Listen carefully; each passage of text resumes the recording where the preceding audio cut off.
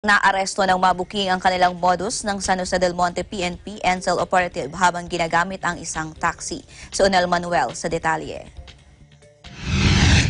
Sa kaligitnaan ng pinahigpit na patrolya ng mga pulis ng San Jose del Monte, Bulacan, ay may mga gumagawa pa ng paraan para makalusot at makapagbenta ng droga sa iba't ibang barangay ang mga drug suspect na ito gamit ang isang taxi. Ayon sa Intel report, ay may mga natatanggap silang tawag na kahinahinala ang mga kilos ng apat na kalalakihan na labas-pasok sa isang barangay sa San Jose del Monte, Bulacan.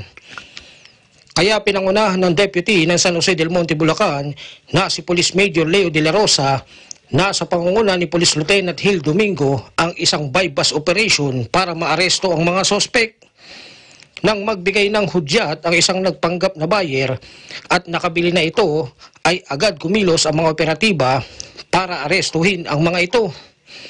Nang tignan ang nilalaman ng dalawang pouch at kapkapan ng mga ito ay tumambad sa pulisya ang kabuang apat na bultong naglalaman ng hinihinalang shabu.